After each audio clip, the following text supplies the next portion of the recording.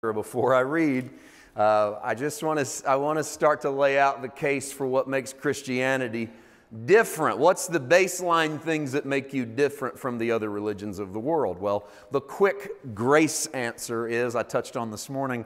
Well, we're not a religion, we're a relationship. And while that sounds that is right and fine, it doesn't fly in the fact that uh, when you stack us up against the other religions of the world because we're all looking upward, aiming higher. That constitutes a religion. You've acknowledged there's somebody bigger than you and you're on an upward trajectory to get to know him. Now we there's deeper theological connotations than that, but for all intents and purposes what we're involved in is a religion. We call it Christianity, you can call it whatever you want. The New Testament tends to call it the way uh, after Jesus saying he's the way.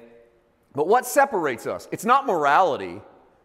Christianity is not necessarily the most moral religion in the world. If you want to judge morality based on whatever standards you come up with, we still don't always meet up with what might be considered socially the highest moral standard. It's not piety, it's not dedication, it's not devotion. You can find people in every religion of the world that are going to be more dedicated and devoted and pious to what they read and what they do and how they worship than any Christian you've ever met in your life. So it's none of the things by which religion get defined. That can't be what separates Christianity from the rest. An easy answer would be Jesus is what separates Christianity from the rest. However, even that answer, every religion has their savior. Every religion has their anointed one. Every religion has that, what might be considered that key central figure of their religion, whomever he or she may be. Every religion has that centerpiece. So, even in that argument, Jesus does, and I, this is even hard for this to come out of my mouth, but please handle this contextually. Jesus doesn't make you special as it regards how to define your religion compared to other religions, okay? And so it's not just having Jesus, it's not even sacrifice, because there are other religions of the world in which God has sacrificed even for his adherents. The thing that makes you unique, the thing that separates you, the thing that causes this to be different from everything else is you and I are crazy enough to believe that our centerpiece resurrected. That's what separates you. It's not just Jesus, it's a risen Jesus. It's not just a dead Jesus. It's not just a cross sacrifice Jesus. Because again, other religions can show you where their God laid stuff down.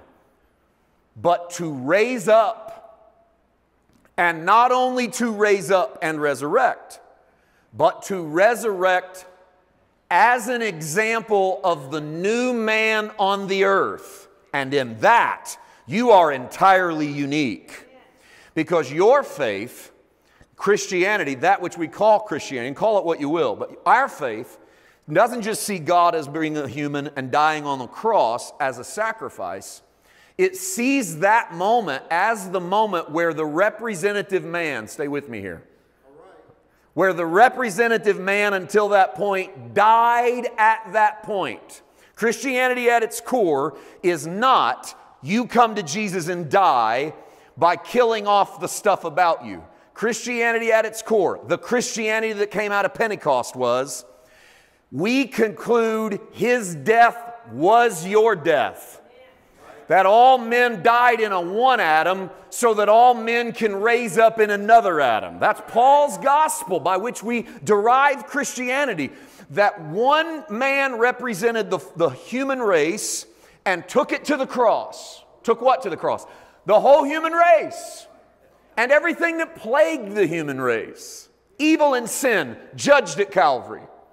That God didn't put off judging evil till the end of the world but that God decided to judge evil in the middle of the world. That's unprecedented.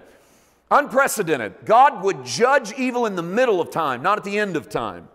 In the middle of time, he would put all things into himself and die. And that should and could be the end of the story. And then we go on trying to live up to that example. I'd like to live, he died for me. Least I can do is live for him. How many of you have ever heard that? How many of you know that does not have a book, chapter, and verse attached to it? He died for you, the least you can do is live for him. That would be the case if the Christian story stopped and started at the cross. If it stopped in that all man had been judged at Calvary and all of that had been taken care of, then you would owe God a great debt, a debt too far too great for you to pay. We'd spend the rest of the time from the cross on trying to live up to a cross way over our head. You'd climb that mountain and never reach the top of it because what are you possibly going to do to pay God back for judging the sin and the error and the fault and the failure of your life? There's nothing you could possibly do, but it's not the end of the story because the stone rolled away. This sounds like an Easter sermon, doesn't it? The stone rolled away. I don't know why we relegate the resurrection to Easter, by the way, in the church. It's one of the only times you can hear about the tomb being empty in the modern churches. Go to church on Easter. We ought to hear about that baby all the time. That tomb is empty, and it ought to be the centerpiece of who we are because it's the one thing that makes you different than everybody else. Is you're nuts enough to believe. yeah, nuts enough to believe that when it rolled away and he came out, you came out. That what makes you who you are is that Jesus came out of the grave, and if he represented the body of man on this side of the cross, you're looking this way, so I'll do it over here left to right. That's how we like to read, right? If he represented the body of man over here, all of humanity and evil and sin is judged at Calvary, those cross beams of Calvary. Then when the stone rolls away, he resurrects as a new man on the earth over here, so that God, who reached down into the dust in Genesis and pulled a dirt man out of the ground and then breathed into his nostrils a life giving spirit, and then man takes upon himself the very essence of who God is. He's the only beast of the field that can communicate intelligent thought to his neighbor because that makes him like God. He's the only beast of the field that can speak into his problems, not run, just run from them. Every animal on the planet has the instinct to see a conflict and run. Only a human has the instinct to see a conflict and win. And you got that from your father reaches down into the dirt, pulls you out of the dirt, and breathes into you. And then, of course, sin and evil and failure hit the human race.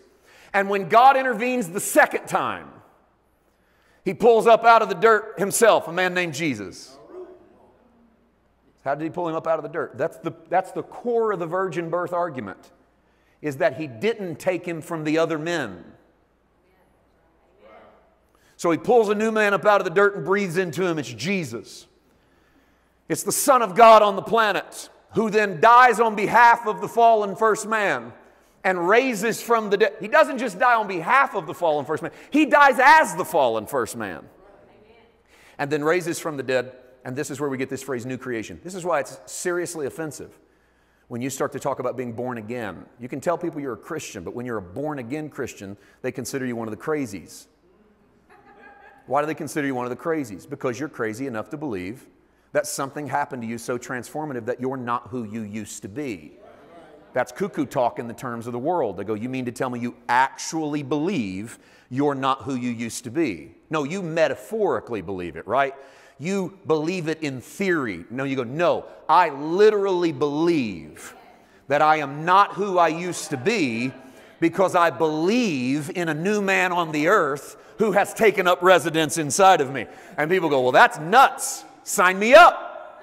I mean, that's, that's what you signed up for. You might have thought you were signing up to go to heaven. You found out this morning you signed up for a whole lot more. Not just a go away. You didn't get in this to get out of this, by the way. You got in this because God needed somebody in this mess. And He'd found a good one when He found you and resurrects you on the earth. And so, resurrection then is not only what separates us, Resurrection is what defines us.